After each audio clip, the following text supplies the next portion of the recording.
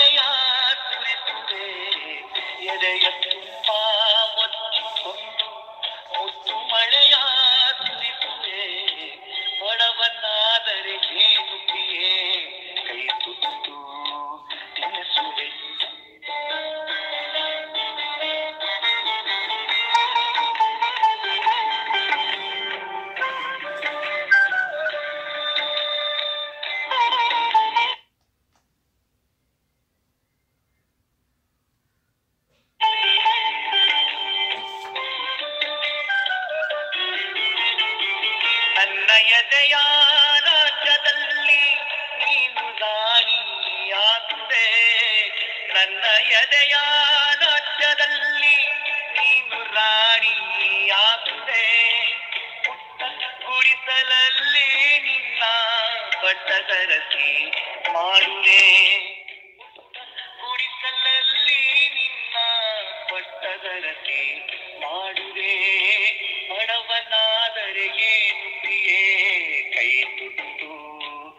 ತಿನ್ನಿಸುವೆ ಬಡವನಾದರೆ ಏನು ಪ್ರಿಯೇ ಕೈ ತುತ್ತು ತಿನ್ನಿಸುವೆ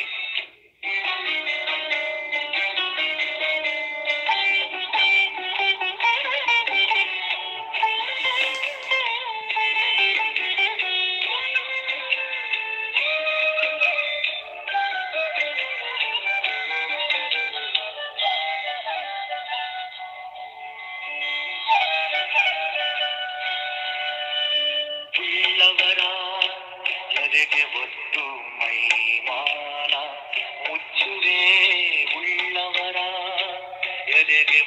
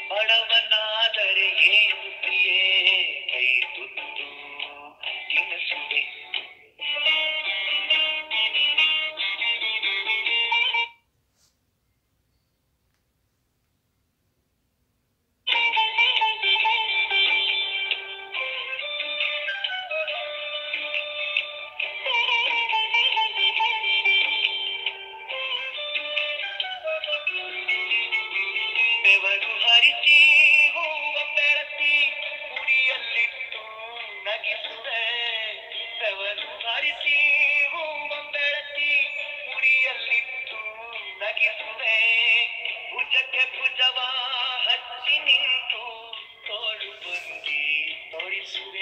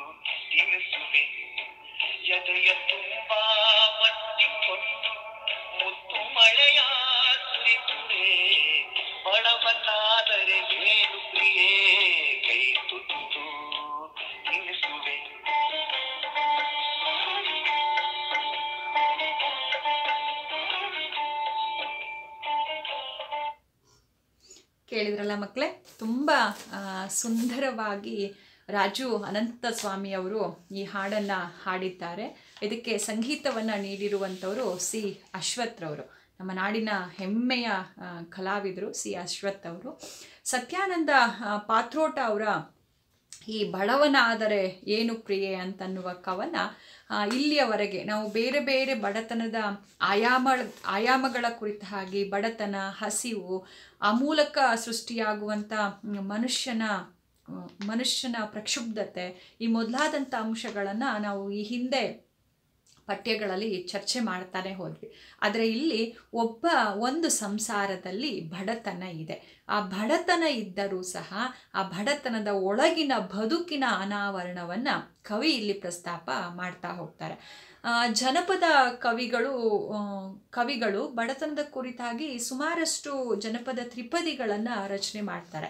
ಅದರಲ್ಲಿ ಮುಖ್ಯವಾಗಿರುವಂಥದ್ದು ಬಡವೆಯ ಮಕ್ಕಳು, ನಡೆದಾರ ಸಂತೋಷ ಬಡವೆಯ ಮಕ್ಕಳು ನಡೆದಾರ ಸಂತೋಷ ಹುಡಿಯಾಡಿ ಒಳಗೆ ಬರುವಾಗ ಬಡತನದ ಜಾನ ಮರೆಯಿತು. ಕೇಳಿರ್ತೀರ ನೀವು ಈ ಈ ತ್ರಿಪದಿಯನ್ನು? ಇಲ್ಲಿ ಒಂದು ಸ್ಪಷ್ಟವ ಆಗುವಂಥ ಒಂದು ಅಂಶ ಏನಪ್ಪ ಅಂತಂದರೆ ಬಡತನದ ಕುರಿತಾದಂಥ ಭಾವನೆಗಳಿಗೂ ಹಾಗೆ ಅನುಭವಗಳಿಗೂ ಇರುವಂಥ ವ್ಯತ್ಯಾಸ. ಬಡತನ ಅಂತನ್ನೋದು ಒಬ್ಬ ವ್ಯಕ್ತಿ ಅಥವಾ ಆತನ ಕುಟುಂಬದ ಒಂದು ಆರ್ಥಿಕ ಸ್ಥಿತಿ. ಅಂದರೆ ಒಟ್ಟು ಅವನ ಆರ್ಥಿಕದ ಆರ್ಥಿಕ ಸ್ಥಿತಿಯನ್ನು ತಲ್ ತಿಳಿಸ್ತಾ ಹೋಗುತ್ತೆ. ಆ ಸ್ಥಿತಿಯನ್ನು ವ್ಯಕ್ತಿ ಅಥವಾ ಆತನ ಕುಟುಂಬ ಹೇಗೆ ಅನುಭವಿಸುತ್ತೆ, ಅದರ ಕುರಿತಾದಂಥ ವ್ಯಕ್ತಿಯ ಮತ್ತು ಕುಟುಂಬದ ಭಾವನೆಗಳು ಏನು ಅಂತನ್ನೋದು ನಮಗೆ ಇಲ್ಲಿ ಮುಖ್ಯವಾಗ್ತಾ ಹೋಗುತ್ತೆ. ಈ ಸಂದರ್ಭದ ಭಾವನೆಗಳೇ ಮುಖ್ಯ ಅಂತನ್ನೋದು ಜನಪದರ ಹಾಡಿನಲ್ಲಿ, ಅವರ ತ್ರಿಪದಿಗಳಲ್ಲಿ ವ್ಯಕ್ತವಾಗುವಂಥ ಒಂದು ಅಭಿಪ್ರಾಯ. ಇಲ್ಲಿ ತಾಯಿಗೆ ಬಡತನದ ಸಂಕ್, ಬಡತನ ಅನ್ನೋದು ಸಂಕಟವನ್ನು ಉಂಟು ಮಾಡುತ್ತೆ, ಹೌದು. ಆದರೆ ಬಡತನದ ಕುರಿತಾದಂಥ ಸಂಕಟವನ್ನು, ಸಂಕಟದ ಭಾವನೆಯನ್ನು ದೂರ ಮಾಡುವಂಥ ಶಕ್ತಿ ಆ ಮಗುವಿನ ಒಳಗಡೆ ಇದೆ. ಆ ಮಗುವಿನ ಆಟಪಾಠಗಳ ಮೂಲಕ ಒಬ್ಬ ಹೆಣ್ಣು ಮಗಳು, ಒಬ್ಬ ಬಡವೆಯಾದಂಥವಳು ಅದನ್ನು ಮರಿತಾ ಹೋಗ್ತಾಳೆ. ಮರಿತಾ ಹೋಗುವಂಥ ಭಾವವನ್ನು ಜನಪದ ಜನಪದದ ಆ ತ್ರಿಪದಿಯಲ್ಲಿ ವ್ಯಕ್ತಪಡಿಸ್ತಾ ಹೋಗ್ತಾರೆ. ಹಾಗೆಯೇ ಇದೇ ತೆರನಾದಂಥ ಅಭಿಪ್ರಾಯವನ್ನು ನಾವು ಸತ್ಯಾನಂದ ಪಾತ್ರೋಟ ಅವರ ಬಡವನಾದರೆ ಏನು ಪ್ರಿಯೆ ಅನ್ನುವ ಕವನದಲ್ಲೂ ಕಾಣೋದಕ್ಕೆ ಸಾಧ್ಯ ಇದೆ. ಈ ಕ್ಷಣದಲ್ಲಿ ನನಗೆ ಬೇಂದ್ರೆಯವರ ಒಂದು ಕವನ ನೆನಪಾಗುತ್ತೆ, ಬಡತನ ಮತ್ತು ಪ್ರೀತಿಯ ಕುರಿತಾಗಿ. ಇಲ್ಲಿ ಒಬ್ಬ ಪ್ರಿಯತಮ ಪ್ರಿಯೆಗೆ ಸಮಾಧಾನ ಮಾಡಿ ಪ್ರೀತಿಯಲ್ಲಿ ಆಕೆಯನ್ನು ಕರ್ಕೊಂಡು ಹೋಗುವಂಥ ಒಂದು ನೋಟ ಸತ್ಯಾನಂದ ಪಾತ್ರೋಟ ಅವರ ಕವನದಲ್ಲಿ ನಾವು ನೋಡಿದ್ರೆ ನಮ್ಮ ಬೇಂದ್ರೆಯವರ ನಾನು ಬಡವಿ ಅನ್ನುವ ಕವನದಲ್ಲಿ ಬೇಂದ್ರೆಯವರು ಒಬ್ಬ ಬಡವಿ ಆದಂಥ ಒಬ್ಬ ಹೆಣ್ಣು ಮಗಳಿಂದ ಮಾತುಗಳನ್ನು ಹೇಳಿಸ್ತಾರೆ. ಅದ್ಭುತವಾದಂಥ ಕವನ ಸಹ ಅದು. ನಾನು ಬಡವಿ, ಆತ ಬಡವ, ಒಲವೇ ನಮ್ಮ ಬದುಕು. ನಾನು ಬಡವಿ, ಆತ ಬಡವ, ಒಲವೇ ನಮ್ಮ ಬದುಕು. ಬಳಸಿಕೊಂಡೆವದನ್ನು ನಾವು ಅದಕ್ಕೋ, ಇದಕ್ಕೋ, ಎದಕ್ಕೋ ಅಂತ ಹೇಳ್ತಾರೆ. ಬಡತನ ಇದೆ ನನಗೂ ಬಡತನ ನಾನು ಬಡವಿಯ? ನನ್ನ ಗಂಡ ಆತ ನನ್ನ ಪ್ರಿಯತಮ ಆತನೂ ಬಡವ. ಆದರೆ ಈ ಒಲವು ಇದೆಯಲ್ಲ, ಇದು ನಮ್ಮ ಬದುಕು. ಆ ಮೂಲಕ ನಾವು ಆ ಒಲವಿನಲ್ಲಿ ಅದಕ್ಕೂ ಇದಕ್ಕೂ ಎದಕ್ಕೂ ಆ ಒಲವನ್ನೇ ಬಳಸ್ಕೊಂಡ್ವಿ ಅಂತ ಹೇಳ್ತಾರೆ. ನಾವು ನೈಜ ಸ್ಥಿತಿಗೆ ಬಂದರೆ ಪ್ರೀತಿಯನ್ನು ಇಟ್ಕೊಂಡು ನಾವು ಊಟ ಮಾಡೋದಕ್ಕೆ ಅಥವಾ ವಸ್ತುಗಳನ್ನು ಕೊಳ್ಳೋದಕ್ಕೆ ಸಾಧ್ಯ ಇಲ್ಲ. ಆದರೆ ಬಡತನ ಇದ್ದರೂ ಸಹ ಇದ್ದದ್ದರಲ್ಲಿಗೆ ಆ ಇದ್ದದ್ದರ ಮೇಲೆ ಪ್ರೀತಿಯನ್ನು, ಪ್ರೀತಿಯಿಂದ ಅದನ್ನು ಸರಿದೂಗಿಸ್ಕೊಂಡು ಹೋಗುವಂಥ ಮನೋಸ್ಥಿತಿಯ ಕುರಿತು ಕವಿ ವರ್ಣಿಸ್ತಾ ಹೋಗ್ತಾರೆ. ಆ ಕವನದ ಕೊನೆಯಲ್ಲಿ ಒಂದು ಪ್ಯಾರ ಬರುತ್ತೆ. ಅದಿನ್ನೂ ಚೆನ್ನಾಗಿದೆ. ಆತ ಕೊಟ್ಟ ವಸ್ತು ಒಡವೆ ಆತ ಕೊಟ್ಟ ವಸ್ತು, ಒಡವೆ ನನಗೆ, ಅವಗೆ ಗೊತ್ತು. ಏನು ಕೊಟ್ಟಿದ್ದು ಆತ? ತೋಳುಗಳಿಗೆ ತೋಳ ಬಂದಿ ಬಂದಿ, ಕೆನ್ನೆ ತುಂಬ ಮುತ್ತು ಅಂತ ಒಬ್ಬ ಹೆಣ್ಣು ಮಗಳು ಹೇಳುವ ಹಾಗೆ ಕವಿ ಆ ಕವನವನ್ನು ನಿರೂಪಿಸ್ತಾರೆ. ಇಲ್ಲಿ ಸತ್ಯಾನಂದ ಪಾತ್ರೋಟಾರವರು ಬಡತನದಿಂದ ಪಾರಾಗುವ ಶಕ್ತಿ ತನಗಿಲ್ಲದೆ ಇದ್ದರೂ ಸಹ ಅದು ಉಂಟು ಮಾಡುವ ಸಂಕಟದ ಭಾವನೆಯನ್ನು ನಾನು ದೂರವಾಗಿಸಬಲ್ಲೆ ಅಂತ ಹೇಳಿ ಅಲ್ಲಿ ಪ್ರಸ್ತಾಪ ಮಾಡ್ತಾರೆ. ನಾನು ಬಡವ ಆದರೆ ಏನು? ನಿನಗೆ ಕೈತುತ್ತನ್ನು ಕೊಡ್ತೀನಿ ಕೈತುತ್ತನ್ನು ತಿನ್ನಿಸ್ತೀನಿ ನನ್ನ ಎದೆಗೆ ಅಪ್ಪಿಕೊಂಡು ಆ ಮೂಲಕ ನಾನು ಪ್ರೀತಿಯನ್ನು ನಿನಗೆ ಕೊಡ್ತೀನಿ, ಸಾಂತ್ವನವನ್ನು ಕೊಡ್ತೀನಿ. ಹೊಟ್ಟೆ ತುಂಬ ಊಟ ಕೊಡ್ಲಿಕ್ಕೆ ನನಗೆ ಶಕ್ತಿ ಇಲ್ಲದೆ ಇರಬಹುದು. ಆದರೆ ಕೈತುತ್ತನ್ನು ನೀಡೋದ್ರ ಮೂಲಕ ಆ ಪ್ರೀತಿಯನ್ನು ನಾನು ನಿನಗೆ ತೋರಿಸ್ತೀನಿ ಅಂತ ಹೇಳ್ತಾರೆ.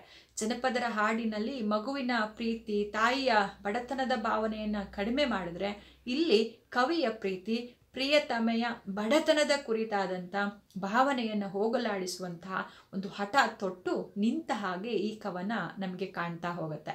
ಬದುಕಿನಲ್ಲಿ ಸಿರಿವಂತಿಕೆಗಿಂತ ಮುಖ್ಯವಾದದ್ದು ಯಾವುದು ಅಂತಂದರೆ ಪ್ರೀತಿ, ವಿಶ್ವಾಸ ನೆಮ್ಮದಿಯೇ ನಮಗೆ ಮುಖ್ಯ ಆಗತ್ತೆ. ಅದು ಮುಖ್ಯ ಅಂತೇಳಿ ಕವಿ ಇಲ್ಲಿ ನಂಬ್ಕೊಂಡು ಹೋಗ್ತಾರೆ. ಮುಂದಿನ ಸಾಲುಗಳಲ್ಲಿ ಹೇಳ್ತಾರೆ ನೋಡಿ, ನನ್ನ ಎದೆಯ ರಾಜ್ಯದಲ್ಲಿ ನಮಗೆ ಆಸ್ತಿ ಇಲ್ಲದೆ ಇರ್ಬೋದು, ಜಮೀನು ಇಲ್ಲದೆ ಇರ್ಬೋದು, ಭೂಮಿ ಇಲ್ಲದೆ ಇರ್ಬೋದು, ನನ್ನ ಎದೆಯೇ ದೊಡ್ಡ ರಾಜ್ಯ, ಅಲ್ಲಿ ನಾನು ರಾಜ ಆದರೆ ನೀನು ರಾಣಿ ಪುಟ್ಟ ಗುಡಿಸಲು ಇದೆ. ಆ ಪುಟ್ಟ ಗುಡಿಸಲಿನಲ್ಲೇ ನಿನ್ನನ್ನು ಪಟ್ಟಧರಿಸಿ ಮಾಡ್ತೀನಿ ಅಂತ. ಅಂದರೆ ಇಲ್ಲಿ ಏನಿದೆ ಅಂತ ಅನ್ನೋದಕ್ಕಿಂತ ಹೇಗಿದ್ದೀವಿ ಅಂತ ಅನ್ನೋದೇ ಮುಖ್ಯ ಆಗುತ್ತೆ. ಇವತ್ತು ಎಷ್ಟೋ ಕುಟುಂಬಗಳು ಆರ್ಥಿಕವಾಗಿ ಸದೃಢ, ಅಂದರೆ ಆರ್ಥಿಕವಾಗಿ ಸದೃಢವಾಗುವಂಥ ಸಿರಿತನದ ಅಥವಾ ಶ್ರೀಮಂತರ ಕುಟುಂಬಗಳಿದ್ದಾವೆ. ಆದರೆ ನೆಮ್ಮದಿ ಇದೆಯಾ? ಸುಮ್ಮನೆ ಕೇಳಿ ನೋಡಿ, ವಿಚಾರಿಸಿ ನೋಡಿ. ನಾನಾ ತೊಂದರೆಗಳಲ್ಲಿ ಅಥವಾ ಹೊಂದಾಣಿಕೆ ಇಲ್ಲದೆ ಬದುಕನ್ನು ಸಾಗಿಸ್ತಾ ಇರ್ತಾರೆ. ಕವಿ ಅದಕ್ಕೆ ಹೇಳ್ತಾರೆ, ನಂದು ಒಂದು ರಾಜ್ಯ ಇದೆ ನನ್ನ ರಾಜ್ಯದಲ್ಲಿ ನಾ ರಾಜ ಆದರೆ ನೀರಾಣಿ. ಒಂದು ಪುಟ್ಟ ಗುಡಿಸಲಿದೆ ಅದನ್ನೇ ನಾವು ಅರಮನೆ ಅಂತ ಅಂದ್ಕೊಳ್ಳೋಣ ಆ ಆ ಪುಟ್ಟ ಗುಡಿಸಲು ಅಂತನ್ನುವ ಅರಮನೆಯಲ್ಲಿ ನೀನೇ ನನ್ನ ಪಟ್ಟದ ಅರಸಿ ನೀನು. ನಿನ್ನನ್ನು ಅರಸಿಯನ್ನಾಗಿಸ್ಕೊಂಡು ನಾನು ಈ ಬದುಕನ್ನು ಚಂದ ಮಾಡಿಕೊಂಡು ಬದುಕೋಕೆ ಹೋಗೋಣ. ಉಳ್ಳವರ ಎದೆಗೆ ಒದ್ದು ಮೈಮಾನ ಮುಚ್ಚುವೆ. ರಟ್ಟೆ ಮೇಲೆ ಹೊತ್ತು ನಿನ್ನ ಜಗವತ್ ಸುತ್ತಿ ತಣಿಸುವೆ ಅಂತ ಹೇಳ್ತಾರೆ. ಅಂದರೆ ಇಲ್ಲದೆ ಇದ್ದರು ಅಂದರೆ ನಮ್ಮ ಹತ್ರ ಉಡಲಿಕ್ಕೆ, ತೊಡಲಿಕ್ಕೆ ಇಲ್ಲದೆ ಇದ್ರು ಅಥವಾ ಬೇಕಾದಂಥ ಅಗತ್ಯತೆಗಳನ್ನ ಅಗತ್ಯತೆಗಳನ್ನು ನಾನು ನಿನಗೆ ಪೂರೈಸಿ ಕೊಡ್ತೀನಿ. ಮೈ ಮಾನವನ್ನು ಮುಚ್ಚೋದಕ್ಕೆ ಬೇಕಾದಂಥ ಬೇಕಾದಂಥ ವಸ್ತ್ರವನ್ನು ಉಳ್ಳವರ ಎದೆಗೊದ್ದಾದರೂ ಪರವಾಗಿಲ್ಲ, ಅದನ್ನು ನಾನು ಸಂಪಾದಿಸಿ ಕೊಡ್ತೀನಿ. ನಿನ್ನನ್ನು ರಟ್ಟೆ ಮೇಲೆ ಹೊತ್ತು ಇಡೀ ಜಗತ್ತನ್ನು ಸುತ್ತಿಸುವಂಥ ಶಕ್ತಿ ನನಗಿದೆ. ಅಂದರೆ ಕಾರು, ಬಸ್ಸು ಯಾವುದೋ ಕೊಂಡ್ಕೊಂಡು ಕಾರುಗಳಲ್ಲಿ ಹೋಗದೇ ಇರು ಹೋಗೋಕ್ಕೆ ನಮ್ಗೆ ಸಾಧ್ಯ ಆಗದೆ ಇರ್ಬೋದೇನೋ. ಊರೂರು ಪರ್ಯಟನೆ ಮಾಡೋದಕ್ಕೆ ವಿಹಾರಕ್ಕೆ ಹೋಗೋಕೆ ಸಾಧ್ಯ ಇಲ್ಲದೆ ಇರ್ಬೋದೇನೋ. ಆದರೆ ನನ್ನ ತೋಳ ರಟ್ಟೆ ಮೇಲೆ ನಿನ್ನನ್ನು ಹೊತ್ಕೊಂಡು ಹೋಗ್ತೀನಿ ಅಂತ ಹೇಳ್ತಾರೆ. ಅಂದರೆ ನನ್ನ ಜೊತೆ ಆ ಸಾಮೀಪ್ಯದಲ್ಲೇ ನಿನಗೆ ಆ ಪ್ರೀತಿಯನ್ನು ತೋರಿಸ್ತೀನಿ. ಬೆವರು ಹರಿಸಿ ಹೂವು ಬೆಳೆಸಿ ಮುಡಿಯಲಿಟ್ಟು ನಗಿಸುವೆ. ಭುಜಕ್ಕೆ ಭುಜವ ಹಚ್ಚಿ ನಿಂತು ತೋಳ ಬಂದಿ ತೊಡೆಸುವೆ ಹೇಳ್ತಾನೆ, ಶ್ರಮಪಟ್ಟು ಶ್ರಮಪಟ್ಟು ದುಡಿತೀನಿ ನಾನು. ಹೂವನ್ನು ಬೆಳೆಸ್ತೀನಿ, ನಿನ್ನ ಮುಡಿಗೆ ಇಟ್ಟು. ಆ ಮೂಲಕ ಆ ಪ್ರೀತಿಯನ್ನು ಅಥವಾ ಬದುಕಿನ ಆಪ್ತತೆಯ ಕ್ಷಣಗಳನ್ನು ನಾನು ಅನುಭವಿಸೋಣ ಅಂತ ಹೇಳ್ತಾರೆ. ಸಾಮಾನ್ಯವಾಗಿ ಸಿರಿವಂತರ ಗೈರು ಹಾಜರಿರುವ ಸಿರಿವಂತರಲ್ಲಿ ಯಾವುದು ಗೈರು ಹಾಜರಿ ಆಗಿರುತ್ತೆ ಅಂತಂದರೆ ಪ್ರೀತಿ, ವಿಶ್ವಾಸಗಳು ಕಡಿಮೆ ಇರುತ್ತೆ. ಬಡ ಬಡವನಾದಂಥ ತನ್ನಲ್ಲಿ ಅಗಾಧವಾಗಿದೆ ಅದು. ತಾನು ಇದರಿಂದಲೇ ಈ ಭವಸಾಗರವನ್ನು ಈಜಿ, ದಾಟುವ ವಿಶ್ವಾಸವನ್ನು ನಿನಗೆ ನೀಡ್ತಾ ಇದ್ದೀನಿ, ಅಭಯವನ್ನು ನೀಡ್ತಾ ಇದ್ದೀನಿ. ಏನು ಇಲ್ಲದೇ ಇದ್ರೂ ಪರವಾಗಿಲ್ಲ, ನಾವು ಪ್ರೀತಿಯಿಂದ ಈ ಬದುಕನ್ನು ಬದುಕೋಣ. ಹರಿಯುವ ನದಿಗೆ ಅಡ್ಡ ನಿಂತು ನಿನಗೆ ದಾರಿ ಮಾಡುವೆ. ಆತಂದು ಎಷ್ಟು ಶಕ್ತಿ ನೋಡಿ, ಆತ ಹಾಗೆ ಮಾಡ್ತಾನೋ ಇಲ್ವೋ, ಆದರೆ ಆತನ ಹೇಳಿಕೆಯಲ್ಲಿರುವಂಥ ಒಂದು ಆತ್ಮವಿಶ್ವಾಸ ಇದೆಯಲ್ಲ? ನಿನಗಾಗಿ ನಾನು ಏನು ಬೇಕಾದರೂ ಮಾಡೋದಕ್ಕೆ ಸಿದ್ಧ ಇದ್ದೀನಿ. ಬಿಸಿಲು ಮಳೆಯ ಚಳಿಯ ನುಂಗಿ, ನೆರಳು ಬೆಳಕು ಆಗುವೆ. ಬಡವನಾದರೆ ಏನು ಪ್ರಿಯೆ? ಹರಿವ ನದಿಗೆ ಅಡ್ಡ ನಿಲ್ತೀನಿ. ನೀನು ಓ, ನಿನಗೆ ದಾರಿ ಮಾಡಿಕೊಡ್ತೀನಿ. ಬಿಸಿಲು, ಮಳೆ, ಚಳಿ ಯಾವುದು ಬಂದರೂ ನನಗೆ, ನಾನು ನಿನಗೆ ನೆರಳಾಗಿ ಇರ್ತೀನಿ ಅಂತನ್ನೋದ್ರ, ಅನ್ನೋದಕ್ಕಿಂತ ದೊಡ್ಡದಾದದ್ದು ಈ ಐಶ್ವರ್ಯ ಸಂಪತ್ತು. ಖಂಡಿತ ಅಲ್ಲ. ನಮಗೆ ಬದುಕಲಿಕ್ಕೆ ಬೇಕು, ಅಗತ್ಯ ವಸ್ತುಗಳನ್ನು ಪೂರೈಸ್ಕೊಳ್ಳಲಿಕ್ಕೆ ಹಣ ಬೇಕು, ಆಮೇಲೆ ಐಶ್ವರ್ಯ ಬೇಕು. ಆದರೆ ಅದರಿಂದನೇ ಎಲ್ಲ ಅಂತನ್ನೋದು ನಿಜವಾಗ್ಲೂ ನಮ್ಮ ಮೂರ್ಖತನ. ನಮ್ಮ ನಮ್ಮ ಮನಸ್ಸಿನಲ್ಲಿ ಪ್ರೀತಿ ಇಲ್ಲ ಅಂತಂದರೆ, ಸಹಬಾಳ್ವೆ ಮಾಡುವ ಮನೋಭಾವ ಇಲ್ಲ ಅಂತಂದರೆ, ಹೊಂದಾಣಿಕೆಯ ಮನೋಸ್ಥಿತಿ ನಮ್ಮಲ್ಲಿ ಇಲ್ಲ ಅಂತಂದರೆ ನಾವು ಈ ಬದುಕನ್ನು ಮುನ್ನಡೆಸ್ಕೊಂಡು ಹೋಗೋದಕ್ಕೆ ಸಾಧ್ಯ ಇಲ್ಲ. ಅದಕ್ಕೆ ಕವಿ ಹೇಳ್ತಾರೆ ಪ್ರಿಯತಮೆಯ ಬಳಿ ತಾನು ಹೇಳೋದೇನಪ್ಪ ಅಂದರೆ, ನಾನು ಬಡವ ಅಂತ ನೀನು ಚಿಂತಿಸಬೇಡ. ನಾನು ಕೈ ತುತ್ತನ್ನು ನೀಡಿ ತಿನ್ನಿಸಿ, ಎದೆಗೆ ಒತ್ಕೊಂಡು ಮುತ್ತಿನ ಮಳೆಯನ್ನು ಸುರಿಸಿ, ತನ್ನ ಎದೆಯ ರಾಜ್ಯದ ಒಳಗಡೆ ನಿನ್ನ ಪಟ್ಟದರಸಿಯನ್ನಾಗಿ ಮಾಡಿಕೊಂಡು, ನನ್ನ ಗುಡಿಸಿಲಿನಲ್ಲಿ ನಿನ್ನ, ನಿನ್ನನ್ನು ತುಂಬ ಚೆನ್ನಾಗಿ ನಾನು ನಿನ್ನನ್ನು ನೋಡ್ಕೊಳ್ತೀನಿ. ನೋಡ್ಕೊಳ್ತೀನಿ, ಆ ನಂಬಿಕೆಯನ್ನು ನೀನು ನನ್ನಲ್ಲಿ ಇರಿಸ್ಕೋ ಅಂತ ಹೇಳ್ತಾನೆ. ಜೊತೆಗೆ ಅಲ್ಲಿ ಹೇಳುವಂಥದ್ದು ಏನಂತಂದರೆ ದಾರಿ ಮಾಡಿ, ನಿನಗೆ ನದಿಗೆ ಅಡ್ಡವನ್ನು ನಿಂತು ದಾರಿ ಮಾಡಿ, ಬಿಸಿಲು, ಮಳೆ, ಚಳಿ ಎಲ್ಲವನ್ನು ಸಹಿಸಿಕೊಂಡು ನಿನಗೆ ನಾನು ನೆರವಾಗ್ತೀನಿ, ಬೆಳಕಾಗ್ತೀನಿ. ಅದರಿಂದ ಆ ಆ ಕಾರಣದಿಂದ ನೀ ನಾನು ಬಡವ ಅಂತ ಹೇಳಿ ನನ್ನನ್ನು ನೀನು ನಿರಾಕರಿಸ್ಬೇಡ ಅಂತ ಹೇಳಿ ತನ್ನವಳಲ್ಲಿ ಆ, ಆತ ವಿಶ್ವಾಸವನ್ನು ತುಂಬ್ತಾ ಹೋಗ್ತಾನೆ. ಒಬ್ಬ ಪ್ರಿಯತಮ ವಿಶ್ವಾಸವನ್ನು ತುಂಬಿಸ್ತಾ ಹೋಗ್ತಾನೆ. ಆದರೆ ವಾಸ್ತವವೇ ಬೇರೆ ಅಂತ ಅನ್ನೋದನ್ನು ನಾವು ಖಂಡಿತ ಮರಿಬಾರ್ದು. ಇವತ್ತು ಇವತ್ತು ಹೇಗಿದೆ, ವಸ್ತು ಸ್ಥಿತಿ ಹೇಗಿದೆ ಅಂತಂದರೆ ನಾವು ಎಲ್ಲ ಸಂದರ್ಭದಲ್ಲೂ ಸಹ ಆಸ್ತಿ, ಅಂತಸ್ತು, ಜಾತಿ, ಧರ್ಮ, ಕುಲ, ಗೋತ್ರ ಇವೇ ನಮಗೆ ಮುಖ್ಯವಾಗ್ತಿದೆ. ಎಲ್ಲೂ ಸಹ ಪ್ರೀತಿನೇ ಮುಖ್ಯ ಅಂತೇಳಿ ನಾವು ಹೊರಡ್ತಾ ಇಲ್ಲ. ನಮ್ಗೆ ಇವತ್ತಿನ ಆಧುನಿಕ ಸಂದರ್ಭವೇ ಆ ಒಂದು ಸ್ಥಿತಿಯನ್ನು ಸೃಷ್ಟಿ ಮಾಡಿಬಿಟ್ಟಿದೆ. ಪ್ರೀತಿಸುವ ಎರಡು ಹೃದಯದಲ್ಲೂ ಕವಿ ಇಂತಹ ಭಾವನೆಗಳು ಇದ್ದರೆ ಪರಸ್ಪರ ಒಲವು ಇದ್ದರೆ ಅವರ ನಡುವೆ ಒಲವು ಇದ್ದರೆ ಆಸ್ತಿ, ಐಶ್ವರ್ಯ, ಸಂಪತ್ತು ಇಲ್ಲಿ ಮುಖ್ಯ ಆಗೋಲ್ಲ. ಅಂಥ ಪ್ರೀತಿ ಮಾತ್ರ ಸಫಲವಾಗುತ್ತೆ, ಆ ಬದುಕು ಸರಾಗ ಆಗತ್ತೆ ಅಂತನ್ನೋದನ್ನು ಈ ಕವನ ಸಾರ್ತಾ ಹೋಗುತ್ತೆ. ನಾವು ಪ್ರತಿ ಹಂತದಲ್ಲೂ ಯಾರೋ ಹುಡುಗಿಯನ್ನು ನೋಡಬೇಕು, ಒಬ್ಬ ವಧುವಿಗೆ ವರವನ್ನು ನೋಡಬೇಕು, ಒಬ್ಬ ವರನಿಗೆ ವಧುವನ್ನು ನೋಡಬೇಕು ಅಂತಂದ್ರು ನಮ್ಗೆ ಇವತ್ತು ಯಾವುದು ಮುಖ್ಯ ಆಗ್ತಿದೆ? ಅವ್ರಿಗೆ ಎಷ್ಟು ಆಸ್ತಿ ಇದೆ? ಆ ಹುಡುಗ ಏನು ಕೆಲಸದಲ್ಲಿದ್ದೀನಿ, ಇದ್ದಾನೆ? ಹುಡುಗಿ ಏನಾದರೂ ದುಡಿತಾಳ? ಅವಳೇನಾದ್ರು ಸಂಪತ್ತನ್ನು ಸಂಪತ್ತಿನ ಒಂದು ರೂವಾರಿ ಆಗಿದ್ದಾಳ ಅನ್ನುವ ಕಡೆನೇ ಮತ್ತೆ ಮತ್ತೆ ನಮ್ಮ ಆಯ್ಕೆಗಳು ಸಾಕ್ತಾ ಇದ್ದಾವೆ. ಆದರೆ ಇಲ್ಲಿ ಕವಿ ಹೇಳಿದ ಹಾಗೆ ಎಲ್ಲ ಎಲ್ಲಕ್ಕಿಂತ ಮುಖ್ಯವಾಗಿ ಪ್ರೀತಿ ಬೇಕು. ನನ್ನಲ್ಲಿ ಆ ಪ್ರೀತಿ ಇದೆ. ನಿನ್ನನ್ನು ಸಾಕುವಂತಹ ನಿನ್ನನ್ನು ನಿನ್ನನ್ನು ತುಂಬ ಚೆನ್ನಾಗಿ ರಾಣಿಯನ್ನಾಗಿ ನೋಡಿಕೊಳ್ಳುವಂತಹಷ್ಟು ಪ್ರೀತಿ ನನ್ನಲ್ಲಿದೆ ಅಂತ ಹೇಳಿ ಕವಿ ಪ್ರೀತಿಯ ಒಂದು ಆಮಂತ್ರಣವನ್ನು ತನ್ನ ಪ್ರೀತಿಯ ನಿವೇದನೆಯನ್ನು ತಾನು ಬಡತನದಲ್ಲಿದ್ದರೂ ಆ ಪ್ರೀತಿಯಲ್ಲಿ ಸಿರಿವಂತನಾಗಿದ್ದೀನಿ ಅಂತ ಅನ್ನೋದನ್ನು ಆ, ಪ್ರಿಯತಮ ಒಬ್ಬ ಪ್ರಿಯತಮೆಗೆ ಹೇಳಿದ್ದ ಹಾಗೆ, ಸತ್ಯಾನಂದ ಪಾತ್ರೋಟ ಅವರು ಈ ಕವನವನ್ನು ರಚನೆ ಮಾಡ್ತಾರೆ. ಪ್ರೀತಿ ಮುಖ್ಯ ಅಂತನ್ನೋದು ಇದರ ಅಂತರಾಳ ಆಗಿದೆ. ಧನ್ಯವಾದಗಳು.